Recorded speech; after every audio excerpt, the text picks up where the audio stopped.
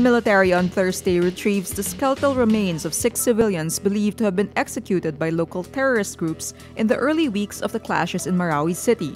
The skeletal remains washed out by weeks of rain are found with orange shirts.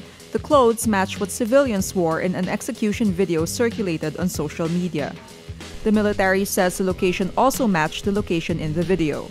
The remains are found in a grassy area near a cemented pavement. The discovery of the remains puts the total number of slain civilians at 45 as of Thursday. Around 400 terrorists and 92 soldiers were killed, including two soldiers who died in a military airstrike Wednesday.